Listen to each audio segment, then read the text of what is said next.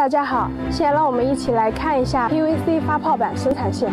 PVC 发泡板应用于建筑装潢业、广告业，并在多种市场被广泛应用。PVC 发泡板防火、防潮、坚韧耐磨，装饰效果好，安装方便，维护简单，是一种优质环保的装饰材料。好看又环保的 PVC 发泡板是如何生产出来的呢？让我们一起来揭秘一下吧。原材料经管道输送到挤出机的料斗里，在挤出机中，物料被加热碾碎进行塑化，然后进入模具挤出基材的料袋。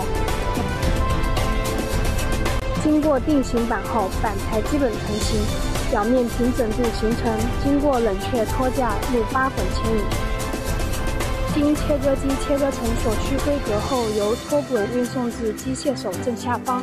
机械手会自动吸附产品后自动整齐堆放。